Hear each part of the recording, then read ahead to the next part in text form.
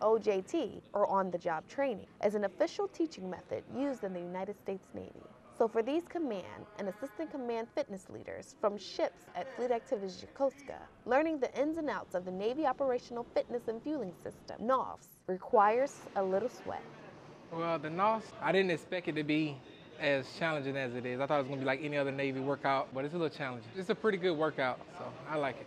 We just did an interval run, and even though it was only 15 minutes, it was actually quite taxing. One of the basic concepts behind the NOFFS is kind of getting away from traditional way of, of training your body. I'm trying to mimic the actual moves that sailors perform throughout, throughout the day. So I'm taking the movements that, that, that I do on the job um, and I'm placing those in a training environment. The training is tailored for sailors on all decks.